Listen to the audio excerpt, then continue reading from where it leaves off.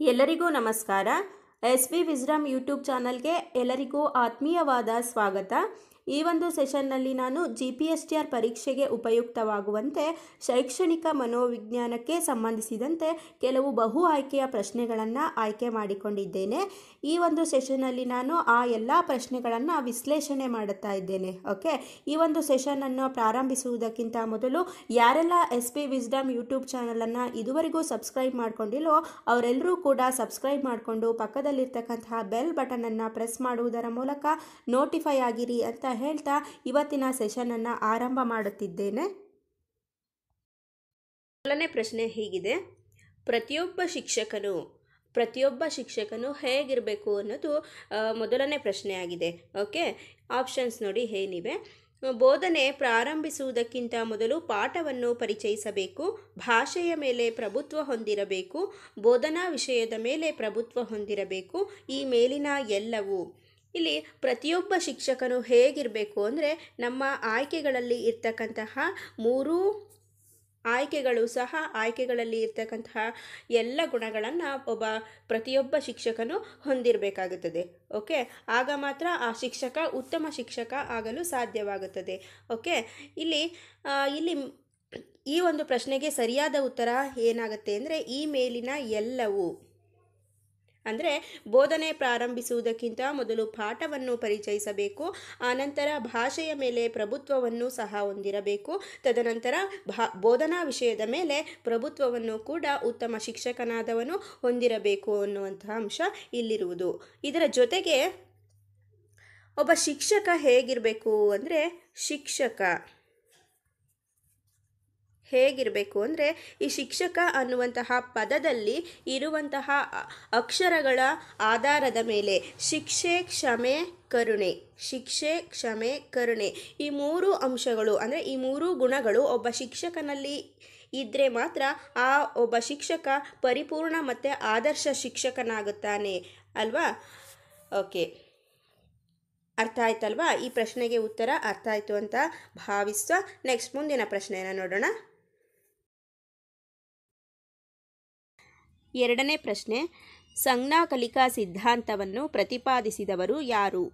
Options ಹೀಗಿವೆ. Edward Tolman, Albert Bandura, J B Watson Titchener ಇಲ್ಲಿ ಸಂಜ್ಞಾ ಕಲಿಕಾ ಸಿದ್ಧಾಂತವನ್ನು ಪ್ರತಿಪಾದಿಸಿದವರು ಯಾರಾಗ್ತಾರೆ ಅಂದರೆ ಎಡ್ವರ್ಡ್ ಟಾಲ್ಮನ್ರವರು. ಎಡ್ವರ್ಡ್ ಟಾಲ್ಮನ್ರವರು ಸಂಜ್ಞಾ ಕಲಿಕಾ ಸಿದ್ಧಾಂತವನ್ನು ಪ್ರತಿಪಾದಿಸಿದವರಾಗಿರ್ತಾರೆ. ಹಾಗೆ ಈ ಒಂದು ಸಿದ್ಧಾಂತವನ್ನು ನಿರೀಕ್ಷಣಾ ಸಿದ್ಧಾಂತ ಅಥವಾ ಉದ್ದೇಶಪೂರಿತ ವರ್ತನವಾದ ಎಂತನೂ ಸಹ ಕರೆಯಲಾಗುತ್ತದೆ. ಟಾಲ್ಮನ್ನವರು ಪ್ರತಿಪಾದಿಸಿದಂತಹ ಸಂಜ್ಞಾ ಕಲಿಕಾ ಸಿದ್ಧಾಂತವನ್ನು ನಿರೀಕ್ಷಣಾ ಸಿದ್ಧಾಂತ ಅಥವಾ ಉದ್ದೇಶಪೂರಿತ ವರ್ತನವಾದ ಸಿದ್ಧಾಂತ ಅಂತಲೂ ಸಹ ಕರೆಯಲಾಗುತ್ತದೆ.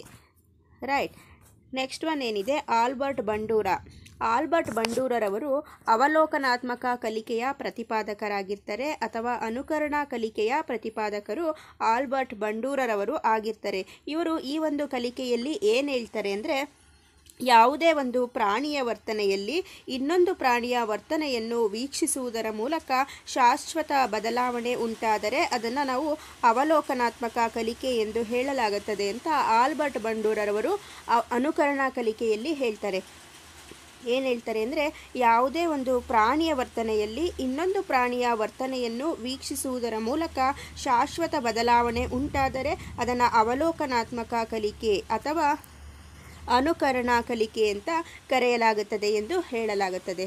Okay next J B Watson. J B Watson ಅವರು ವರ್ತನಾ ಪಂಥದ ಪ್ರತಿಪಾದಕರಾಗಿದ್ದಾರೆ. ಓಕೆ? ಇವರು ಮನೋವಿಜ್ಞಾನವನ್ನು ಮನಸ್ಸಿನ ಅಧ್ಯಯನ ಎಂಬ ವಾದದಿಂದ ಹೊರತಂದವರು ಇವರು ಆಗಿರ್ತಾರೆ. ಜೆ ಬಿ ವ್ಯಾಟ್ಸನ್ರವರು ಮನೋವಿಜ್ಞಾನವನ್ನು ಮನಸ್ಸಿನ ಅಧ್ಯಯನ ಎಂಬ ವಾದದಿಂದ ಹೊರತಂದವರಾಗಿರ್ತಾರೆ. ಇವರು ಪರಿಸರವಾದಿಗಳು. ಜೆ ಬಿ ವ್ಯಾಟ್ಸನ್ ಅವರು ಪರಿಸರವಾದಿಗಳು. ಓಕೆ? ಇವರ ಪ್ರಕಾರ ವ್ಯಕ್ತಿಯ ವರ್ತನೆಯನ್ನು ನಿರ್ಧರಿಸುವಲ್ಲಿ ಅನುವಂಶೀಯತೆಗಿಂತ ಪರಿಸರ ಹೆಚ್ಚಿನ ಪ್ರಭಾವ ಬೀರುತ್ತದೆ ಎಂದು ಜೆ ಬಿ ವ್ಯಾಟ್ಸನ್ರವರು ವರ್ತನಾ ಪಂಥದಲ್ಲಿ ಹೇಳಲಾಗ, ಹೇಳಿದ್ದಾರೆ. ಮತ್ತೇನು ಹೇಳಿದರೆ ಈ ವರ್ತನಾ ಪಂಥದಲ್ಲಿ ಅಂದರೆ ಅನುಬಂಧನದಿಂದ ಮಾತ್ರ ವ್ಯಕ್ತಿಯ ವರ್ತನೆಯನ್ನು ಅಧ್ಯಯನ ಮಾಡಲು ಸಾಧ್ಯ ಎಂದು ಜೆ ಬಿ ವ್ಯಾಟ್ಸನ್ರವರು ಹೇಳಿದ್ದಾರೆ. ಓಕೆ? ರೈಟ್. ನೆಕ್ಸ್ಟ್ ಒನ್ ಏನಿದೆ? ಟಿಸ್ನರ್ ಟಿಶ್ನರ್ ಅವರು ಅಂತರಾವಲೋಕನದ ಪ್ರತಿಪಾದಕರು ಟಿಶ್ನರ್ ಟಿಶ್ನರ್ ಅವರು ಆಗಿರ್ತಾರೆ. ಇವರು ವ್ಯಕ್ತಿ ತನ್ನ ಆಂತರಿಕ ಭಾವನೆಗಳನ್ನು ಅಧ್ಯಯನ ಮಾಡುವ ಏಕೈಕ ವಿಧಾನವನ್ನು ಪ್ರತಿಪಾದಿಸ್ತಾರೆ. ಅದ್ಯಾವುದು ಅಂದರೆ ಅಂತರಾವಲೋಕನ ವಿಧಾನವಾಗಿರುತ್ತದೆ. ಓಕೆ? ಇಲ್ಲಿ ವ್ಯಕ್ತಿ ತನ್ನನ್ನು ತಾನು ಅಧ್ಯಯನ ಮಾಡಿಕೊಂಡು ಸುಧಾರಿಸಿಕೊಳ್ಳಲು ಉಪಯುಕ್ತವಾದುದು ಈ ಅಂತರಾವಲೋಕನ ಆಗಿರುತ್ತದೆ. ಇದು ಶಿಕ್ಷಕರಿಗೆ ಯಾವ ಥರ ಉಪಯೋಗ ಆಗುತ್ತೆ ಅಂದರೆ ಶಿಕ್ಷಕ ತನ್ನ ಬೋಧನೆಯಲ್ಲಿ ಸಫಲತೆ ಮತ್ತು ವಿಫಲತೆಗಳನ್ನು ವಿಶ್ಲೇಷಿಸಿ ಮೌಲ್ಯಮಾಪನ ಮಾಡಿಕೊಳ್ಳಲು ನೆರಗೋ, ನೆರವಾಗುವುದಂತಹ ಒಂದು ವಿಧಾನ ಈ ಅಂತರಾವಲೋಕನ ಆಗಿರುತ್ತದೆ. ಅದನ್ನು ಪ್ರತಿಪಾದಿಸಿದವರು ಟಿಶ್ನರ್ ಅವರಾಗಿರ್ತಾರೆ ಓಕೆ ರೈಟ್ ಅರ್ಥ ಆಯ್ತಲ್ವಾ ನೆಕ್ಸ್ಟ್ ಮುಂದಿನ ಪ್ರಶ್ನೆಯನ್ನು ನೋಡೋಣ. ಮೂರನೇ ಪ್ರಶ್ನೆ ಹೀಗಿದೆ. ಬುದ್ಧಿಶಕ್ತಿ ಸಿದ್ಧಾಂತವನ್ನು ಪ್ರತಿಪಾದಿಸದಿರುವ ಮನೋವಿಜ್ಞಾನಿ ಯಾರು? ಇಲ್ಲಿ ಆಯ್ಕೆಗಳು ಏನಿವೆ ಅಂದರೆ ಸ್ಪಿಯರ್ಮನ್, ಥರ್ಸ್ಟನ್, ಆಲ್ಪೋರ್ಟ್, ಗಿಲ್ಫರ್ಡ್. ಈ ಒಂದು ಪ್ರಶ್ನೆಗೆ ಸರಿಯಾದ ಉತ್ತರ ಏನಾಗುತ್ತೆ? ಗಿಲ್ ಸಾರಿ ಆಲ್ಪೋರ್ಟ್ರವರು. ಆಲ್ಪೋರ್ಟ್ರವರು ಏಕೆ ಅಂದರೆ ಇವರು ವ್ಯಕ್ತಿತ್ವದ ಸ್ಥಿರಗುಣ ಸಿದ್ಧಾಂತವನ್ನು ಮೊದಲು ಪ್ರತಿಪಾದಿಸಿದವರು ಆಗಿರ್ತಾರೆ. ಇವರು ಬುದ್ಧಿಶಕ್ತಿ ಸಿದ್ಧಾಂತವನ್ನು ಪ್ರತಿಪಾದಿಸಿರುವ ಗುಂಪಿಗೆ ಸೇರಿರಲ್ಲ. ಇವರು ವ್ಯಕ್ತಿತ್ವದ ಸ್ಥಿರಗುಣ ಸಿದ್ಧಾಂತವನ್ನು ಮೊದಲು ಪ್ರತಿಪಾದಿಸಿದಂತಹ ಮನೋವಿಜ್ಞಾನಿ ಆಲ್ಪೋರ್ಟ್ರವರಾಗಿರ್ತಾರೆ ಓಕೆ? ಇನ್ನು ಉಳಿದಂಥವರು ಸ್ಪಿಯರ್ಮನ್, ಥರ್ಸ್ಟನ್ ಮತ್ತು ಗಿಲ್ಫೋರ್ಡ್. ಇವರು ಬುದ್ಧಿಶಕ್ತಿ ಸಿದ್ಧಾಂತವನ್ನು ಪ್ರತಿಪಾದಿಸಿರುವ ಗುಂಪಿಗೆ ಸೇರಿರ್ತಕ್ಕಂತಹ ಮನೋವಿಜ್ಞಾನಿಗಳಾಗಿರ್ತಾರೆ. ಓಕೆ? ರೈಟ್. ಇನ್ನು ಸ್ಪಿಯರ್ಮನ್ ಬಗ್ಗೆ ಹೇಳಬೇಕು ಅಂದರೆ ಇವರು ದ್ವಿಕಾರಕ ಸಿದ್ಧಾಂತವನ್ನು ಪ್ರತಿಪಾದಿಸಿದವರು ಸ್ಪಿಯರ್ಮನ್ರವರಾಗಿರ್ತಾರೆ. ಇನ್ನು ಥರ್ಸ್ಟನ್ ರವರ ಬಗ್ಗೆ ಹೇಳಬೇಕು ಅಂದರೆ ಇವರು ಬುದ್ಧಿಶಕ್ತಿಯ ಸಮೂಹಕಾರಕ ಸಿದ್ಧಾಂತವನ್ನು ಪ್ರತಿಪಾದಿಸಿದವರು ಥರ್ಸ್ಟನ್ ರವರಾಗಿರ್ತಾರೆ ಲಾಸ್ಟ್ ಒನ್ ಏನಿದೆ? ಗಿಲ್ಫೋರ್ಟ್.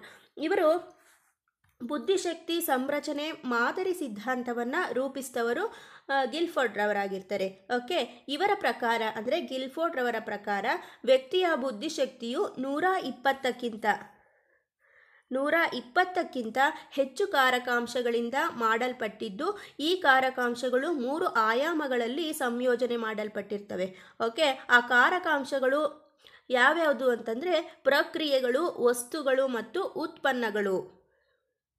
ಓಕೆ? ಮೋಸ್ಟ್ ಇಂಪಾರ್ಟೆಂಟ್ ಇದು. ಗಿಲ್ಫೋರ್ಡ್ ಅವರು ಸಂರಚನೆ ಬುದ್ಧಿಶಕ್ತಿಯ ಸಂರಚನೆ ಮಾದರಿ ಸಿದ್ಧಾಂತದಲ್ಲಿ ಬರ್ತಕ್ಕಂತಹ ಮೂರು ಕಾರಕಾಂಶಗಳು ಯಾವ್ಯಾವುದು ಅಂದರೆ ಪ್ರಕ್ರಿಯೆಗಳು, ವಸ್ತುಗಳು ಮತ್ತು ಉತ್ಪನ್ನಗಳು. ಓಕೆ? ಅರ್ಥ ಆಯ್ತಲ್ವಾ? ರೈಟ್. ನೆಕ್ಸ್ಟ್. ಮುಂದಿನ ಪ್ರಶ್ನೆಯನ್ನು ನೋಡೋಣ. ನಾಲ್ಕನೇ ಪ್ರಶ್ನೆ. ಒಬ್ಬ ಹುಡುಗಿ ಒಂದು ಪುಟ್ಟ ಕಥೆಯನ್ನು ಓದುತ್ತಾಳೆ. ಅವಳು ಅದನ್ನು ಓದಿದ ನಂತರ ಕಥೆಯ ಕೊನೆಯಲ್ಲಿ ನೀಡಿರುವ ಎಲ್ಲ ಪ್ರಶ್ನೆಗಳಿಗೆ ಉತ್ತರಿಸುತ್ತಾಳೆ. ಮತ್ತು ಆ ಕಥೆಯ ಮುಕ್ತಾಯ ಬೇರೆಯ ರೀತಿಯಲ್ಲಿ ಇರಬೇಕಿತ್ತು ಎಂದು ಅಪೇಕ್ಷಿಸುತ್ತಾಳೆ. ಇದು ವಿದ್ಯಾರ್ಥಿನಿಯ ಈ ವರ್ತನೆ ತೋರಿಸುತ್ತದೆ. ಇಲ್ಲಿ ಪ್ರಶ್ನೆಯಲ್ಲಿ ಏನು ಕೊಟ್ಟಿದ್ದಾರೆ ಅಂದರೆ, ಒಬ್ಬ ಹುಡುಗಿ ಒಂದು ಪುಟ್ಟ ಕಥೆಯನ್ನು ಓದ್, ಓದುತ್ತಾಳಂತೆ. ಅವಳು ಆ ಕಥೆಯನ್ನು ಓದಿದ ನಂತರ ಕಥೆಯ ಕೊನೆಯಲ್ಲಿ ಬರ್ತಕ್ಕಂತಹ ಎಲ್ಲ ಪ್ರಶ್ನೆಗಳಿಗೆ ಉತ್ತರವನ್ನು ನೀಡ್ತಾಳೆ. ಮತ್ತು ಆ ಕಥೆಯ ಮುಕ್ತಾಯ ಎಂಡಿಂಗ್ ಈ ಥರ ಇರಬಾರ್ದಾಗಿತ್ತು, ಬೇರೆ ಥರ ಇರಬೇಕಾಗಿತ್ತು ಅಂತ ಆಲೋಚನೆಯನ್ನು ಮಾಡ್ತಾಳೆ. ಇದು ವಿದ್ಯಾರ್ಥಿನಿಯ ಯಾವ ಒಂದು ವರ್ತನೆಯನ್ನು ತೋರುತ್ತದೆ ಎಂಬುದನ್ನು ನಾವು ಆಯ್ಕೆ ಮಾಡಬೇಕಾಗುತ್ತದೆ, ಅಲ್ವಾ? ಇಲ್ಲಿ ಆಯ್ಕೆಗಳು ಏನಿವೆ ಅಂದರೆ ಕತೆ ಓದುವುದರಲ್ಲಿ ಜಾಣತನ, ತೆರೆದ ಮನಸ್ಸು, ಸೃಜನಶೀಲತೆ, ಬುದ್ಧಿವಂತಿಕೆ. ಇಲ್ಲಿ ವಿದ್ಯಾರ್ಥಿನಿಯ ಯಾವ ವರ್ತನೆ ತೋರುತ್ತದೆ ಅಂದರೆ ಬುದ್ಧಿವಂತಿಕೆ. ಅಲ್ವಾ? ವಿದ್ಯಾರ್ಥಿನಿಯ ಬುದ್ಧಿವಂತಿಕೆ ಇಲ್ಲಿ ತೋರುತ್ತದೆ. ಅಲ್ವಾ? ಈ ಬುದ್ಧಿವಂತಿಕೆ ಅಂದರೆ ಏನು ಅಂದರೆ ಜ್ಞಾನಾತ್ಮಕ ಸಾಮರ್ಥ್ಯ. ಇದು ಒಂದು ಜ್ಞಾನಾತ್ಮಕ ಸಾಮರ್ಥ್ಯವಾಗಿದೆ. ಇದರ ಜೊತೆಗೆ ಬುದ್ಧಿವಂತಿಕೆ ಎನ್ನುವುದು ಹೊಸ ಸನ್ನಿವೇಶಗಳನ್ನು ಗ್ರಹಿಸುವುದು ಮತ್ತು ಕಲಿಯುವುದಾಗಿದೆ. ಅಲ್ವಾ? ಈ ಒಂದು ಸಾಮರ್ಥ್ಯವನ್ನು ಬುದ್ಧಿವಂತಿಕೆ ಹೊಂದಿರುತ್ತದೆ. ಮತ್ತು ಇದು ಹೊಸ ಸನ್ನಿವೇಶಗಳೊಡನೆ ಹೊಂದಾಣಿಕೆಯನ್ನು ಮಾಡಿಕೊಳ್ಳುವುದು ಬುದ್ಧಿವಂತಿಕೆಯ ಒಂದು ಲಕ್ಷಣ ಆಗಿರುತ್ತದೆ. ಮತ್ತು ಪ್ರಸ್ತುತ ಸನ್ನಿವೇಶದ ಬಗ್ಗೆ ಆಲೋಚಿಸುವುದು, ಇದು ಸಹ ಬುದ್ಧಿವಂತಿಕೆಯ ಒಂದು ಲಕ್ಷಣ ಆಗಿರುತ್ತದೆ. ಈ ಎಲ್ಲ ಲಕ್ಷಣಗಳು ಇದ್ದರೆ ಅವರನ್ನು ಅಥವಾ ವಿದ್ಯಾರ್ಥಿಯನ್ನು ಅಥವಾ ವಿದ್ಯಾರ್ಥಿನಿಯನ್ನು ಬುದ್ಧಿ, ಬುದ್ಧಿಶಕ್ತಿ ಉಳ್ಳವಳು, ಬುದ್ಧಿ, ಬುದ್ಧಿವಂತೆ ಅಂತ ಕರೆಯಲಾಗುತ್ತದೆ. ಓಕೆ? ಇನ್ನು ಈ ಬುದ್ಧಿಶಕ್ತಿ ಎನ್ನುವುದು ಮಾನಸಿಕ ಶಕ್ತಿ ಕೂಡ ಹೌದು. ಅಲ್ವಾ? ಇನ್ನು ನೆಕ್ಸ್ಟ್ ಒನ್ ಏನಿದೆ? ಸೃಜನಶೀಲತೆ. ಸೃಜನಶೀಲತೆ ಎನ್ನುವುದು ಯಾವುದರ ಸ, ಯಾವುದರೊಂದಿಗೆ ಇದು ಸಂಬಂಧವನ್ನು ಹೊಂದಿದೆ ಅಂದರೆ ಬುದ್ಧಿವಂತಿಕೆಯೊಂದಿಗೆ. ಸೃಜನಶೀಲತೆ ಎಂಬುದು ಬುದ್ಧಿವಂತಿಕೆಯೊಂದಿಗೆ ಸಂಬಂಧವನ್ನು ಹೊಂದಿರುತ್ತದೆ. ರೈಟ್, ಇನ್ನು ಈ ಸೃಜನಶೀಲತೆ ಯಾವುದರಿಂದ ಹೆಚ್ಚಾಗುತ್ತದೆ? ಈ ಸೃಜನಶೀಲತೆ ಎನ್ನುವುದು ಯಾವುದರಿಂದ ಹೆಚ್ಚಾಗುತ್ತದೆ ಅಂದರೆ ಅಮೂರ್ತ ಚಿಂತನೆ. ಅಮೂರ್ತ ಚಿಂತನೆಯಿಂದ ಇದು ಹೆಚ್ಚಾಗುತ್ತದೆ. ಮತ್ತು ಈ ಸೃಜನಶೀಲತೆ ಮತ್ತು ಬುದ್ಧಿವಂತಿಕೆ ಇವೆರಡಕ್ಕೆ ಇರ್ತಕ್ಕಂತಹ ಸಂಬಂಧ ಯಾವುದು ಅಂದರೆ ಅಲ್ಪಧನಾತ್ಮಕವಾದಂತಹದು ಅಲ್ಪ ಧನಾತ್ಮಕ ಸಂಬಂಧವನ್ನು ಬುದ್ಧಿವಂತಿಕೆ ಮತ್ತು ಸೃಜನಶೀಲತೆ ಇವೆರಡೂ ಕೂಡ ಹೊಂದಿರುತ್ತದೆ. ಓಕೆ? ರೈಟ್ ನೆಕ್ಸ್ಟ್ ಈ ಸೃಜನಶೀಲತೆ ಅಂತ, ಅನ್ನೋ ಅಂತಹದ್ದು ಇದು ಕಲ್ಪನಾತ್ಮಕ ಚಿಂತನೆ. ಇದನ್ನು ಕಲ್ಪನಾತ್ಮಕ ಚಿಂತನೆ ಅಂತಲೂ ಸಹ ಕರಿತೀವಿ. ಮತ್ತು ಇದರಲ್ಲಿ ಕಂಡುಬರುವುದು ವಿಭಿನ್ನ ಮುಖ ಚಿಂತನೆ. ಸೃಜನಶೀಲತೆಯಲ್ಲಿ ಕಂಡುಬರುವುದು ವಿಭಿನ್ನ ಮುಖ ಚಿಂತನೆ. ಓಕೆ ರೈಟ್ ಅರ್ಥ ಆಯ್ತಲ್ವಾ? ನೆಕ್ಸ್ಟ್ ಮುಂದಿನ ಪ್ರಶ್ನೆಯನ್ನು ನೋಡೋಣ. ಐದನೇ ಪ್ರಶ್ನೆ ಹೀಗಿದೆ. ಮರವಿನ ತೊಂದರೆಗೆ ಸಂಬಂಧಪಟ್ಟ ಕಲಿಕಾ ನ್ಯೂನತೆ ಯಾವುದು? ಆಪ್ಷನ್ಸ್ ನೋಡಿ ಹೀಗಿವೆ. ಆಮ್ನೇಷಿಯಾ ಆರ್ಟಿಸಮ್ ಡಿಸ್ಫೋನಿಯಾ ಅಫಾಸಿಯಾ ಮರವಿನ ತೊಂದರೆಗೆ ಸಂಬಂಧಪಟ್ಟಂತಹ ಕಲಿಕಾ ನ್ಯೂನತೆ ಯಾವುದು ಅಂತ ಪ್ರಶ್ನೆ ಇದೆ. ಈ ಒಂದು ಪ್ರಶ್ನೆಗೆ ಸರಿಯಾದ ಉತ್ತರ ಏನಾಗುತ್ತೆ ಅಂದರೆ ಆಮ್ನೇಷಿಯಾ.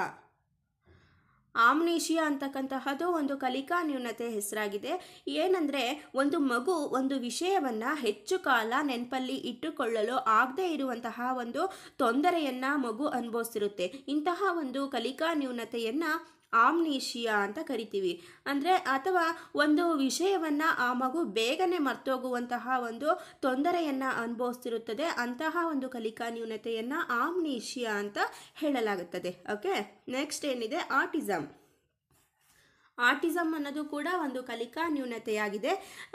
ಈ ಆಟಿಸಮ್ ಅಂದರೆ ನರ ಸಂಬಂಧಿ ವರ್ತನಾ ರೋಗಕ್ಕೆ ಈ ಆಟಿಸಮ್ ಸಂಬಂಧಪಟ್ಟಿರುತ್ತದೆ. ನರ ಸಂಬಂಧಿ ವರ್ತನಾ ರೋಗಕ್ಕೆ ಸಂಬಂಧಿಸಿರುವಂತಹ ಒಂದು ಕಲಿಕಾ ನ್ಯೂನತೆ ಆಟಿಸಮ್ ಆಗಿರುತ್ತದೆ. ಓಕೆ? ಮತ್ತು ಇಲ್ಲಿ ಒಂದು ಮಗು ಸಮಾಜದಲ್ಲಿ ಹೊಂದಿಕೊಳ್ಳಲು ತೊಂದರೆಯನ್ನು ಅನುಭವಿಸ್ತಿರುತ್ತೆ. ಅಂತಹ ಒಂದು ಕಲಿಕಾ ನ್ಯೂನತೆಯನ್ನು ಆಟಿಸಮ್ ಅಂತ ಕರೆಯಲಾಗುತ್ತದೆ.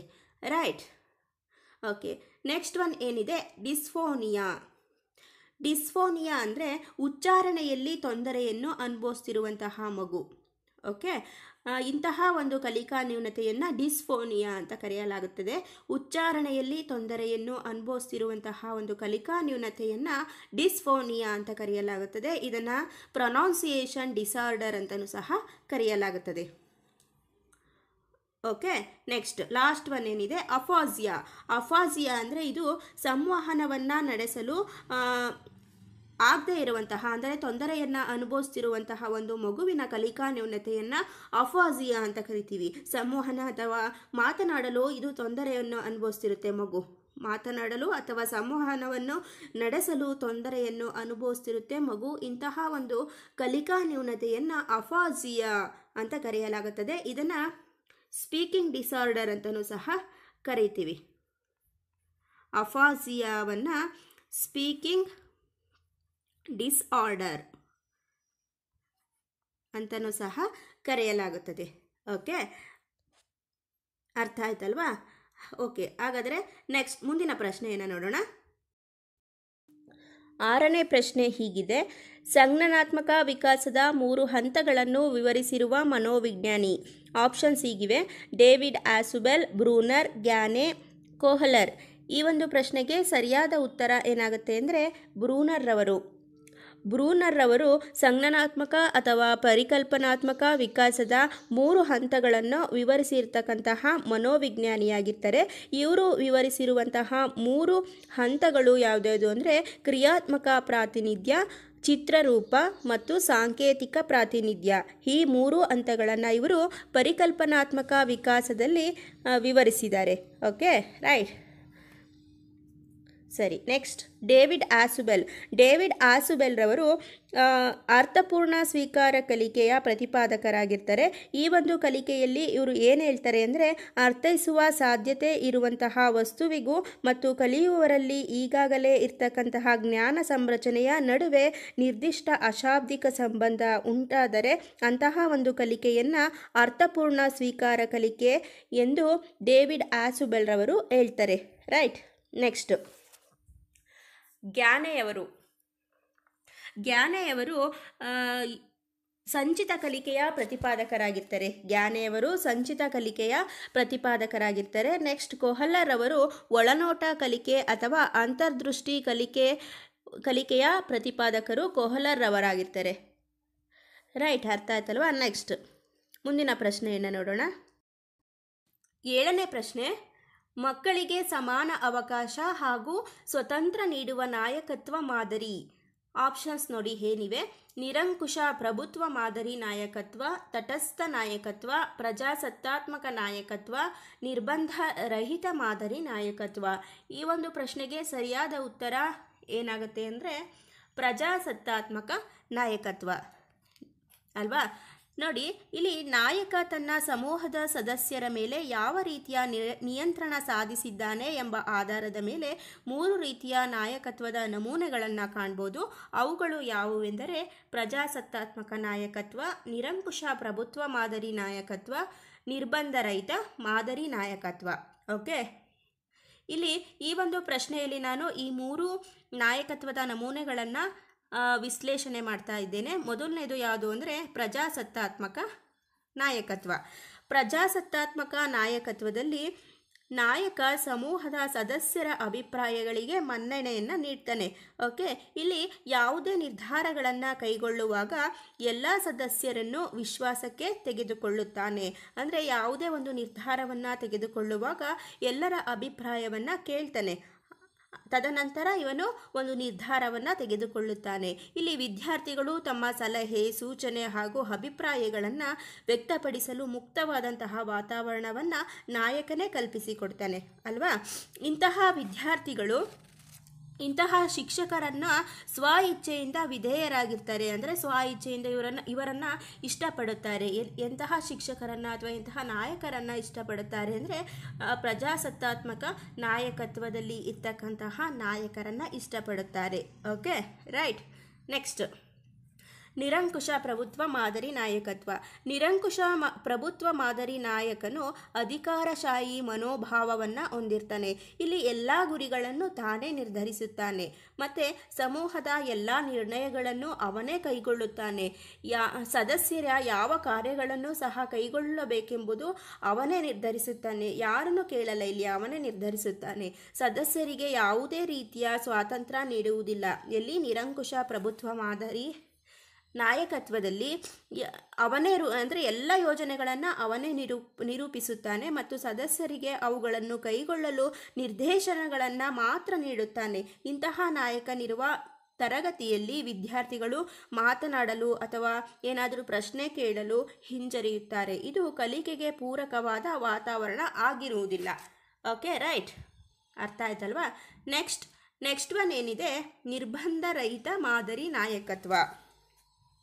ನಿರ್ಬಂಧ ರಹಿತ ಮಾದರಿ ನಾಯಕ ಸಮೂಹದ ಸದಸ್ಯರ ಕಾರ್ವ ಕಾರ್ಯನಿರ್ವ ನಿರ್ವಹಣೆಯಲ್ಲಿ ಪಾಲ್ಗೊಳ್ಳದೆ ನಿರಾಸಕ್ತಿ ಪ್ರೇಕ್ಷಕನಂತೆ ವರ್ತಿಸುತ್ತಾನೆ. ಇಲ್ಲಿ ವಿದ್ಯಾರ್ಥಿಗಳು ತಮ್ಮ ನಿರ್ಧಾರಗಳನ್ನು ತಾವೇ ಕೈಗೊಳ್ಳುತ್ತಾರೆ. ಇಂತಹ ನಾಯಕರನ್ನು ಮಕ್ಕಳು ಗೌರವಿಸುವುದಿಲ್ಲ. ಇಂತಹ ನಾಯಕರನ್ನು ಮಕ್ಕಳು ಗೌರವಿಸುವುದಿಲ್ಲ ಮತ್ತು ಇಂತಹ ನಾಯಕರಿರುವ ಸಮೂಹದಲ್ಲಿ ಯಾವುದೇ ಉಪಯುಕ್ತವಾದಂತಹ ಕಾರ್ಯ ಕೂಡ ನಡೆಯುವುದಿಲ್ಲ. ಏಕೆ ಅಂದರೆ ಇವರು ಪ್ರೇಕ್ಷಕರಂತೆ ವರ್ತಿಸುತ್ತಾರೆ ಅಷ್ಟೇ. ನಿರಾಸಕ್ತ ಪ್ರೇಕ್ಷಕನಂತೆ ವರ್ತಿಸುತ್ತಾನೆ. ಆದ್ದರಿಂದ ಇಲ್ಲಿ ಯಾವುದೇ ಉಪಯುಕ್ತವಾದಂತಹ ಕಾರ್ಯ ಕೂಡ ನಡೆಯುವುದಿಲ್ಲ. ರೈಟ್. ಇಷ್ಟು ವಿವರಣೆ ಸಾಕು ಅಂತ ಹೇಳ್ತಾ ಮುಂದಿನ ಪ್ರಶ್ನೆಯನ್ನು ನೋಡೋಣ. ಎಂಟನೇ ಪ್ರಶ್ನೆ ವಿದ್ಯಾರ್ಥಿಗಳು ಪಾಠವನ್ನು ಕೇಳುತ್ತಾ ಕುಳಿತಿರುವಾಗ ಅಕಸ್ಮಾತ್ ಮುಖ್ಯೋಪಾಧ್ಯಾಯರು ತರಗತಿಯೊಳಗೆ ಬಂದರೆ ಪ್ರತಿಯೊಬ್ಬ ವಿದ್ಯಾರ್ಥಿಯ ಗಮನವು ಅವರ ಕಡೆಗೆ ಹೋಗುತ್ತದೆ. ಇಲ್ಲಿ ವಿದ್ಯಾರ್ಥಿಗಳ ಅವಧಾನ ಯಾವ ರೀತಿಯದಾಗಿದೆ ಎಂಬುದು ಪ್ರಶ್ನೆಯಾಗಿದೆ. ಓಕೆ, ಇಲ್ಲಿ ಆ ಪ್ರಶ್ನೆ ಯಾವುದಕ್ಕೆ ಸಂಬಂಧಪಟ್ಟಿದೆ ಅಂದರೆ ಅವಧಾನ. ಅವಧಾನದ ವಿಧಗಳ ಮೇಲೆ ಪ್ರಶ್ನೆಯಾಗಿದೆ. ಓಕೆ, ಇಲ್ಲಿ ಅವಧಾನವನ್ನು ಮೂರು ವಿಭಾಗಗಳನ್ನಾಗಿ ಮಾಡುತ್ತೇವೆ. ಯಾವುದ್ಯಾವುದು ಅಂದರೆ ಐಚ್ಛಿಕ ಅವಧಾನ ಅನೈಚ್ಛಿಕ ಅವಧಾನ ಮತ್ತು ಅಭ್ಯಾಸ ಅವಧಾನ ಅಂತ ಮೂರು ವಿಭಾಗಗಳನ್ನಾಗಿ ಮಾಡಲಾಗುತ್ತದೆ. ಅಲ್ವಾ? ಈ ಒಂದು ಪ್ರಶ್ನೆಗೆ ಸರಿಯಾದ ಉತ್ತರ ಏನಾಗುತ್ತೆ ಅಂದರೆ, ಅನೈಚ್ಛಿಕ ಅವಧಾನ. ಏನು ಅನೈಚ್ಛಿಕ ಅವಧಾನ ಅಂದರೆ, ಇಲ್ಲಿ ಬಹಳ ತೀವ್ರವಾದ ಉದ್ದೀಪನ, ಭಾರೀ ಶಬ್ದ ಅಥವಾ ಪ್ರಖರವಾದ ಬೆಳಕು. ಇವುಗಳು ವ್ಯಕ್ತಿಗೆ ಅವುಗಳ ಗಮನ, ಅವಳ ಅವುಗಳ ಬಗ್ಗೆ ಇಷ್ಟ ಇಲ್ಲದಿದ್ರೂ ಸಹ ಅವಾಗ ಅವುಗಳ ಬಗ್ಗೆ ಗಮನವನ್ನು ಸೆಳೆಯುತ್ತವೆ, ಅಲ್ವಾ? ಪ್ರಖರವಾದಂತಹ ಬೆಳಕು, ಜಾಸ್ತಿ ಬೆಳಕು, ಮತ್ತು ಕರ್ಕಶವಾದಂತಹ ಸೌಂಡ್, ಅದು ನಮಗೆ ಇಷ್ಟ ಇಲ್ಲದಿದ್ರೂ ಸಹ ನಾವು ಅವುಗಳ ಕಡೆಗೆ ಗಮನವನ್ನು ಒಂದು ಕ, ಒಂದ್ಸಲಿ ಹಾಕಿಬಿಟ್ಟು ಮತ್ತೆ ವಾಪಸ್ ನಾವು ಪುನಃ ಯಥಾಸ್ಥಿತಿಗೆ ಬರುತ್ತೇವೆ, ಅಲ್ವಾ? ಅಂತಹ ಒಂದು ಅವಧಾನವನ್ನು ಅನೈಚ್ಛಿಕ ಅವಧಾನ. ನಮಗೆ ಇಚ್ಛೆ ಇಲ್ದಿದ್ರೂ ಸಹ ಅವುಗಳ ಕಡೆ ಗಮನವನ್ನು ಸೆಳೆಯುತ್ತದೆ. ಇಂತಹ ಒಂದು ಅವಧಾನವನ್ನು ಅನೈಚ್ಛಿಕ ಅವಧಾನ ಅಂತ ಹೇಳಲಾಗುತ್ತದೆ. Okay, next. ಐಚ್ಛಿಕ ಅವಧಾನ. ಐಚ್ಛಿಕ ಅವಧಾನ ಅಂದರೆ ನಾವು ಯಾವಾಗ ಉದ್ದೇಶಪೂರ್ವಕವಾಗಿ ನೋಡುತ್ತೇವೆಯೋ ಅಥವಾ ಕೇಳುತ್ತೇವೆಯೋ ಅದನ್ನು ಐಚ್ಛಿಕ ಅವಧಾನ ಅಂತ ಕರೆಯಲಾಗುತ್ತದೆ. ಓಕೆ? ನಾವು ಯಾವಾಗ ಉದ್ದೇಶಪೂರ್ವಕವಾಗಿ ನೋಡುತ್ತೇವೆಯೋ ಅಥವಾ ಕೇಳುತ್ತೇವೆಯೋ ಅಂತಹ ಒಂದು ಅವಧಾನವನ್ನು ಐಚ್ಛಿಕ ಅವಧಾನ ಅಂತ ಕರೆಯಲಾಗುತ್ತದೆ. ಉದಾಹರಣೆಗೆ, ಒಬ್ಬ ಉದ್ಯೋಗವನ್ನು ಅರಸುತ್ತಿರುವ ವ್ಯಕ್ತಿ ದಿನಪತ್ರಿಕೆಗಳಲ್ಲಿ ಉದ್ಯೋಗಗಳ ಬಗ್ಗೆನೇ ಅವನು ಗಮನವನ್ನು ಹರಿಸ್ತಾ ಇರ್ತಾನೆ, ಅಲ್ವಾ? ಅಂತಹ ಒಂದು ಅವಧಾನವನ್ನು ಐಚ್ಛಿಕ ಅವಧಾನ ಎಂದು ಕರೆಯಲಾಗುತ್ತದೆ. ರೈಟ್. ಅರ್ಥ ಆಯ್ತಲ್ವಾ? ಸರಿ ನೆಕ್ಸ್ಟ್ ಹಾಗಾದರೆ ಮುಂದಿನ ಪ್ರಶ್ನೆಯನ್ನು ನೋಡೋಣ. ಒಂಬತ್ತನೇ ಪ್ರಶ್ನೆ ಹೀಗಿದೆ. ಮನೋವಿಜ್ಞಾನದ ಪಿತಾಮಹ ಯಾರು? ಆಯ್ಕೆಗಳು ನೋಡಿ ಹೀಗಿವೆ. Sigmund Freud Wilhelm Wundt, Skinner, William James. ಈ ಒಂದು ಪ್ರಶ್ನೆಗೆ ಸರಿಯಾದ ಉತ್ತರ ಏನಾಗುತ್ತೆ ಅಂದರೆ ಸಿಗ್ಮಂಡ್ ಫ್ರಾಯ್ಡ್ ರವರು ಮನೋವಿಜ್ಞಾನದ ಪಿತಾಮಹ ಯಾರು? ಸಿಗ್ಮಂಡ್ ಫ್ರಾಯ್ಡ್ ರವರಾಗಿರುತ್ತಾರೆ. ಇನ್ನು ಆಧುನಿಕ ಮನೋವಿಜ್ಞಾನದ ಪಿತಾಮಹ ಯಾರು ಅಂತ ಕೇಳಿದಾಗ ನಾವು ವಿಲ್ ಹೆಲ್ಮ್ ಊಂಟ್ ಎಂಬ ಆಯ್ಕೆಯನ್ನು ಸೆಲೆಕ್ಟ್ ಮಾಡಬೇಕಾಗುತ್ತದೆ. ಓಕೆ? ಆಧುನಿಕ ಮನೋವಿಜ್ಞಾನದ ಪಿತಾಮಹ ಯಾರಂದರೆ? ವಿಲ್ ಹೆಲ್ಮ್ ಊಂಟ್ ರವರಾಗಿರ್ತಾರೆ. ಇನ್ನು ಶೈಕ್ಷಣಿಕ ಮನೋವಿಜ್ಞಾನದ ಪಿತಾಮಹ ಯಾರು ಅಂತ ಕೇಳಿದಾಗ ನಾವು ತಾರ್ನ್ ಡೈಕ್ ಯಾರು? ತಾರ್ನ್ ಡೈಕ್ ಎಂಬ ಆಯ್ಕೆಯನ್ನು ಆಯ್ಕೆ ಮಾಡಬೇಕಾಗುತ್ತದೆ. ರೈಟ್? ಮತ್ತೊಮ್ಮೆ ಹೇಳ್ತೀನಿ ಕೇಳಿ. ಮನೋವಿಜ್ಞಾನದ ಪಿತಾಮಹ ಯಾರು ಎಂಬ ಪ್ರಶ್ನೆ ಬಂದಾಗ ನಾವು ಸಿಗ್ಮಂಡ್ ಫ್ರಾಯ್ಡ್ ಎಂಬ ಆಯ್ಕೆಯನ್ನು ಆಯ್ಕೆ ಮಾಡಬೇಕಾಗುತ್ತದೆ. ಇನ್ನು ಆಧುನಿಕ ಮನೋವಿಜ್ಞಾನದ ಪಿತಾಮಹ ಯಾರು ಎಂದಾಗ ನಾವು ವಿಲ್ ಹೆಲ್ಮ್ ಊಂಟ್ ಅಂತ ಹೇಳಬೇಕಾಗುತ್ತದೆ. ನೆಕ್ಸ್ಟು ಶೈಕ್ಷಣಿಕ ಮನೋವಿಜ್ಞಾನದ ಪಿತಾಮಹ ಯಾರು ಅಂತ ಕೇಳಿದಾಗ ಥಾರ್ನ್ಡೈಕ್ ಎಂಬ ಆಯ್ಕೆಯನ್ನು ಆಯ್ಕೆ ಮಾಡಬೇಕಾಗುತ್ತದೆ. ರೈಟ್. ಅರ್ಥ ಆಯ್ತಲ್ವಾ? ಓಕೆ. ಇನ್ನು ಸಿಗ್ಮಂಡ್ ಫ್ರಾಯ್ಡ್ರವರ ಬಗ್ಗೆ ಮತ್ತಷ್ಟು ಮಾಹಿತಿ ಹೇಳಬೇಕು ಅಂದರೆ ಇವರು ಮನೋವಿಶ್ಲೇಷಣಾವಾದದ ಪ್ರತಿಪಾದಕರು ಇವರಾಗಿರ್ತಾರೆ. ಸಿಗ್ಮಂಡ್ ಫ್ರಾಯ್ಡ್ ಅವರು ಮನೋವಿಶ್ಲೇಷಣಾ ಪಂಥದ ಪ್ರತಿಪಾದಕರಾಗಿರ್ತಾರೆ ಮತ್ತು ಇವರು ಮಾನವನ ಸಂಪೂರ್ಣ ವರ್ತನೆಯನ್ನು ವಿಶ್ಲೇಷಿಸುವಲ್ಲಿ ಪ್ರಜ್ಞಾವಸ್ಥೆ, ಸುಪ್ರ, ಸುಪ್ತ ಪ್ರಜ್ಞಾವಸ್ಥೆ ಮತ್ತು ಅಜಾಗೃತ ಅವಸ್ಥೆಗಳನ್ನು ಸೂಚಿಸ್ತಾರೆ. ಯಾರು? ಸಿಗ್ಮಂಡ್ ಫ್ರಾಯ್ಡ್ ಅವರು ಇನ್ನು ಇವರು ಮಕ್ಕಳಿಗೆ ಲೈಂಗಿಕ ಶಿಕ್ಷಣವನ್ನು ನೀಡುವುದರ ಅಗತ್ಯತೆಯನ್ನು ಸಹ ಪ್ರತಿಪಾದಿಸ್ತಾರೆ. ಯಾರು? ಸಿಗ್ಮಂಡ್ ಫ್ರಾಯ್ಡ್ ರವರು. ಓಕೆ? ಇನ್ನು ವಿಲ್ ಹೆಲ್ಮ್ ಊಂಟ್ರವರ ಬಗ್ಗೆ ಹೇಳಬೇಕಂದ್ರೆ ವಿಲ್ ಹೆಲ್ಮ್ ಊಂಟ್ರವರ ಬಗ್ಗೆ ಹೇಳಬೇಕಂದ್ರೆ, ಇವರು ಮೊದಲ ಪ್ರ, ಮನೋವಿಜ್ಞಾನದ ಪ್ರಯೋಗಾಲಯವನ್ನು ಸ್ಥಾಪಿಸ್ತಾರೆ. ಮೊದಲ ಮನೋವಿಜ್ಞಾನದ ಪ್ರಯೋಗಾಲಯವನ್ನು ಸ್ಥಾಪಿಸಿದವರು ವಿಲ್ ಹೆಲ್ಮ್ ಹೂಂಟ್ರವರಾಗಿರ್ತಾರೆ ಇನ್ನು ಮತ್ತೊಂದು ಅಂಶ ಇವರ ಬಗ್ಗೆ ಹೇಳಬೇಕು ಅಂದರೆ ಶೈಕ್ಷಣಿಕ ಮನೋವಿಜ್ಞಾನಕ್ಕೆ ವಿಜ್ಞಾನದ ಸ್ಥಾನಮಾನವನ್ನು ತಂದುಕೊಟ್ಟವರು ಇವರು ಮನ್ ವಿಲ್ ಹೆಲ್ ಮೂಂಟ್ರವರು ಪ್ರಾಯೋಗಿಕ ವಿಧಾನದಲ್ಲಿ ಒಂದು ಸ್ಥಾನಮಾನವನ್ನು ತಂದುಕೊಡ್ತಾರೆ. ಅವರು ವಿಲ್ ಹೆಲ್ ಮೂಂಟ್ರವರಾಗಿರ್ತಾರೆ ಓಕೆ? ಇನ್ನು ಮನಃಶಾಸ್ತ್ರದಲ್ಲಿ ಪ್ರಥಮ ಪ್ರಯೋಗವನ್ನು ಮಾಡಿದವರು ಸಹ ವಿಲ್ ಹೆಲ್ ಊಂಟ್ರವರಾಗಿರ್ತಾರೆ ರೈಟ್? ಓಕೆ. ಇನ್ನು ಸ್ಕಿನ್ನರ್. ಇವರು ಕ್ರಿಯಾಜನ್ಯ ಅನುಬಂಧನ ಕಲಿಕೆಯ ಪ್ರತಿಪಾದಕರಾಗಿರ್ತಾರೆ. ಕ್ರಿಯಾಜನ್ಯ ಅನುಬಂಧನ ಕಲಿಕೆಯ ಪ್ರತಿಪಾದಕರು ಸಿಗ್ಮಂಡ್ ಫ್ರಾಯ್ಡ್ ರವರು ಆಗಿರ್ತಾರೆ. ಓಕೆ? ಇನ್ನು ಲಾಸ್ಟ್ ಒನ್ ಏನಿದೆ? William James. ವಿಲಿಯಂ ಜೇಮ್ಸ್ ಅವರು ಕ್ರಿಯಾತ್ಮಕ ಪಂಥದ ಪ್ರತಿಪಾದಕರಾಗಿರ್ತಾರೆ. ವಿಲಿಯಂ ಜೇಮ್ಸ್ ಅವರು ಕ್ರಿಯಾತ್ಮಕ ಪಂಥದ ಪ್ರತಿಕ, ಪ್ರತಿಪಾದಕರು ಆಗಿರ್ತಾರೆ. ಓಕೆ? ಅರ್ಥ ಆಯ್ತಲ್ವಾ? ರೈಟ್ ಹಾಗಾದರೆ ಮುಂದಿನ ಪ್ರಶ್ನೆಯನ್ನು ನೋಡೋಣ. ಹತ್ತನೇ ಪ್ರಶ್ನೆ ಹಾಗೂ ಈ ಒಂದು ಸೆಷನ್ನ ಕೊನೆಯ ಪ್ರಶ್ನೆ ಇದಾಗಿದೆ. ವಸ್ತುಗಳು ಶಾಶ್ವತ ಅಥವಾ ಪ್ರತಿಯೊಂದು ವಸ್ತುವಿಗೂ ತನ್ನದೇ ಆದ ಅಸ್ತಿತ್ವ ಇದೆ ಎನ್ನುವ ಪರಿಕಲ್ಪನೆಯನ್ನು ಮಗು ಕಲಿಯುವುದು ಜ್ಞಾನಾತ್ಮಕ ವಿಕಾಸದ ಯಾವ ಲಕ್ಷಣವಾಗಿದೆ? ಈ ಒಂದು ಪ್ರಶ್ನೆಗೆ ಉತ್ತರ ತಮಗೆಲ್ಲರಿಗೂ ಗೊತ್ತೇ ಇದೆ. ಆದರೂ ಕೂಡ ನಾನು ಈ ಒಂದು ಪ್ರಶ್ನೆಯನ್ನು ಆಯ್ಕೆ ಮಾಡಿಕೊಂಡಿದ್ದೇನೆ.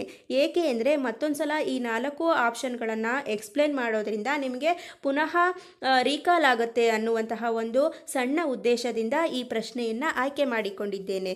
ಓಕೆ? ರೈಟ್. ಇಲ್ಲಿ ಆಯ್ಕೆಗಳು ಏನಿವೆ ನೋಡೋಣ. ಔಪಚಾರಿಕ ಕಾರ್ಯಗಳ ಹಂತ, ಸಂವೇದನಾ ಗತಿ ಹಂತ, ಮೂರ್ತ ಕಾರ್ಯಗಳ ಹಂತ, ಕಾರ್ಯಪೂರ್ವ ಹಂತ. ಈ ಒಂದು ಪ್ರಶ್ನೆಗೆ ಸರಿಯಾದ ಉತ್ತರ ಏನಾಗುತ್ತೆ? ಸಂವೇದನಾಗತಿ ಹಂತ. ಓಕೆ? ಇಲ್ಲಿ ಪಿಯಾಜೆಯವರು ಬೌದ್ಧಿಕ ವಿಕಾಸದಲ್ಲಿ ಪ್ರತಿಯೊಬ್ಬ ವ್ಯಕ್ತಿಯು ಮುನ್ನಡೆಯುವಂತಹ ನಾಲ್ಕು ಕ್ರಮಾನುಗತವಾದಂತಹ ಹಂತಗಳನ್ನು ಗುರುತಿಸಿದ್ದಾರೆ. ಅವು ಯಾವುವೆಂದರೆ ಫಸ್ಟ್ ಒನ್ ಸಂವೇದನಾ ಗತಿವತ್ತ ಸೆಕೆಂಡ್ ಒನ್ ಕಾರ್ಯಪೂರ್ವ ಹಂತ ಥರ್ಡ್ ಒನ್ ಮೂರ್ತ ಕಾರ್ಯಗಳ ಹಂತ ಲಾಸ್ಟ್ ಒನ್ ಔಪಚಾರಿಕ ಕಾರ್ಯಗಳ ಹಂತ. ಇದು ತುಂಬ ಇಂಪಾರ್ಟೆಂಟ್ ಪ್ರಶ್ನೆಯಾಗಿದೆ. ಇದರಲ್ಲಿ ಎರಡರಿಂದ ಮೂರು ಪ್ರಶ್ನೆಗಳು ಬಂದೇ ಬರುತ್ತವೆ. ಅಟ್ಲೀಸ್ಟ್ ಎರಡರ ಪ್ರಶ್ನೆ ಇದ್ದೇ ಇರುತ್ತದೆ. ಓಕೆ ರೈಟ್ ಮೊದಲನೇದು ವಿವರಣೆ ಮಾಡ್ತಾ ಇದ್ದೀನಿ ಇವಾಗ. ಯಾವುದು ಅಂದರೆ ಸಂವೇದನಾ ಗತಿ ಹಂತ. ಸಂವೇದನಾ ಗತಿ ಹಂತ ಹುಟ್ಟಿನಿಂದ ಎರಡು ವರ್ಷದ ಒಳಗೆ ಇರುವಂತಹ ಮಕ್ಕಳಲ್ಲಿ ಇರುತ್ತದೆ. ಓಕೆ? ಇದು ಮಗುವಿನ ಇಂದ್ರಿಯ ಸಂವೇದನೆಗಳು ಮತ್ತು ಗತಿಶೀಲ ಸ್ಕೀಮಾ ಚಟುವಟಿಕೆಗಳ ನಡುವಿನ ಅನ್ಯೂನವಾದಂತಹ ಕ್ರಿಯೆಯನ್ನು ತೋರಿಸುವಂತಹ ಒಂದು ಹಂತ ಈ ಸಂವೇದನಾ ಗತಿ ಹಂತ ಆಗಿರುತ್ತದೆ. ಓಕೆ? ಇಲ್ಲಿ ವಸ್ತುಗಳು ತನ್ನಿಂದ ಪ್ರತ್ಯೇಕವಾಗಿ ಇರುವಂತಹುದು ಎಂಬ ಅರಿವು ಮಕ್ಕಳಲ್ಲಿ ಮೂಡುತ್ತದೆ. ನೆಕ್ಸ್ಟು ವಸ್ತುಗಳು ಕಣ್ಣಿಗೆ ಗೋಚರಿಸದೇ ಇದ್ದರೂ ಕೂಡ ಅವುಗಳ ಅಸ್ತಿತ್ವ ಮುಂದುವರಿಯುತ್ತದೆ. ಓಕೆ ಇನ್ನು ಸೆಕೆಂಡ್ ಒನ್ ಕಾರ್ಯಪೂರ್ವ ಹಂತ. ಕಾರ್ಯಪೂರ್ವ ಹಂತದಲ್ಲಿ ಮಗು ಭಾಷೆಯನ್ನು ಬಳಸುತ್ತದೆ ಮತ್ತು ವಸ್ತುಗಳನ್ನು ಪದ ಹಾಗೂ ಬಿಂಬಗಳಿಂದ ಪ್ರತಿನಿಧಿಸುತ್ತಾನೆ. ಓಕೆ? ಮತ್ತು ಇಲ್ಲಿ ಮಗುವಿನಲ್ಲಿ ಅಹಂ ಕೇಂದ್ರಿತ ಪ್ರವೃತ್ತಿ ಕಂಡುಬರುತ್ತದೆ. ನಾನು ಅನ್ನುವಂತಹ ಒಂದು ಪ್ರವೃತ್ತಿ, ಅಹಂ ಕೇ, ಕೇಂದ್ರಿತ ಪ್ರವೃತ್ತಿ ಇಲ್ಲಿ ಕಂಡುಬರುತ್ತದೆ. ಮತ್ತು ತಂದೆ ತಾಯಿಗಳು ಇಲ್ಲದೇ ಇರುವಂತಹ ಸಂದರ್ಭದಲ್ಲಿ ಅವರು ಮಾಡುವಂತಹ ಚಟುವಟಿಕೆಗಳನ್ನು ವೀಕ್ಷಿಸಿ ಅವರು ಅನುಪಸ್ಥಿತಿಯಲ್ಲಿ ಇದ್ದಂತಹ ಸಂದರ್ಭದಲ್ಲಿ ಅವುಗಳನ್ನು ಇವು ಇವು ಈ ಮಗು ಅನುಕರಿಸಲು ಪ್ರಯತ್ನಿಸುತ್ತದೆ. ಓಕೆ? ಕಾರ್ಯಪೂರ್ವ ಹಂತದಲ್ಲಿ ಮಗು ತಂದೆ ತಾಯಿಗಳು ಅನುಪಸ್ಥಿತಿಯಲ್ಲಿ ಇದ್ದಾಗ ಅವು, ಅವರು ಮಾಡುವಂತಹ ಕೆಲಸಗಳನ್ನು ಅನುಕರಣೆಯನ್ನು ಮಾಡುತ್ತಾ ಇರುತ್ತದೆ. ಓಕೆ? ಇನ್ನು ಈ ಹಂತದ ಬಗ್ಗೆ ಮತ್ತೇನು ಹೇಳ್ಬೋದು ಅಂದರೆ, ಈ ಹಂತದ ಅಂತ್ಯದ ವೇಳೆಗೆ ಸಂಖ್ಯೆಗಳನ್ನು ಬಳಸಲು ಮಗು ಪ್ರಾರಂಭ ಮಾಡುತ್ತದೆ. ರೈಟ್? ನೆಕ್ಸ್ಟ್ ಒನ್ ಏನಿದೆ? ಔಪಚಾರಿಕ ಕಾರ್ಯಗಳ ಹಂತ. ಇದು ಈ ಹಂತದಲ್ಲಿ ಮಗು, ಮಗುವಿನಲ್ಲಿ ತಾರ್ಕಿಕ ಆಲೋಚನಾ ಸಾಮರ್ಥ್ಯ ಮೂಡುತ್ತದೆ. ತಾರ್ಕಿಕ ಆಲೋಚನಾ ಸಾಮರ್ಥ್ಯ ಮಗುವಿನಲ್ಲಿ ಮೂಡುವುದು ಮೂರ್ತ ಕಾರ್ಯಗಳ ಹಂತದಲ್ಲಿ. ಮತ್ತು ದ್ರವ್ಯರಾಶಿ, ತೂಕ ಸ್ಥಾಯಿತ್ವದ ಪರಿಕಲ್ಪನೆಗಳು ಸಹ ರೂಪುಗೊಳ್ಳುವುದು ಮೂರ್ತ ಕಾರ್ಯಗಳ ಹಂತದಲ್ಲಿ. ರೈಟ್ ನೆಕ್ಸ್ಟು ಔಪಚಾರಿಕ ಕಾರ್ಯಗಳ ಹಂತ. ಇದು ಪಿಯಾಜೆ ಅವರು ನಾಲ್ಕು ಕ್ರಮಾನುಗತ ಹಂತಗಳನ್ನು ಗುರುತಿಸಿದಾರಲ್ವ? ಇದರ ಇದು ಇದು ಲಾಸ್ಟ್ನೇದು, ಔಪಚಾರಿಕ ಕಾರ್ಯಗಳ ಹಂತ ಲಾಸ್ಟ್ ಒನ್ ಆಗಿರುತ್ತದೆ. ಇನ್ನು ಇಲ್ಲಿ ಮಗುವಿನಲ್ಲಿ ಅಮೂರ್ತ ಚಿಂತನೆ ಸಾಮರ್ಥ್ಯ ಮೂಡುತ್ತದೆ. ಮಗುವಿನಲ್ಲಿ ಅಮೂರ್ತ ಚಿಂತನಾ ಸಾಮರ್ಥ್ಯ ಮೂಡೋದು ಔಪಚಾರಿಕ ಕಾರ್ಯಗಳ ಹಂತದಲ್ಲಿ ಮತ್ತು ತರ್ಕಬದ್ಧ ಹೇಳಿಕೆಗಳನ್ನು ಅನುಸರಿಸಬಲ್ಲನು. ಅದೇ ರೀತಿ ಅನುಗಮನ, ನಿಗಮನಾತ್ಮಕ ಚಿಂತನಾ ಸಾಮರ್ಥ್ಯ ಕೂಡ ಇಲ್ಲಿ ಮೂಡುತ್ತದೆ. ಮತ್ತು ಸಮಸ್ಯೆ ಪರಿಹಾರ, ಇದು ಸಹ ಔಪಚಾರಿಕ ಕಾರ್ಯಗಳ ಹಂತಕ್ಕೆ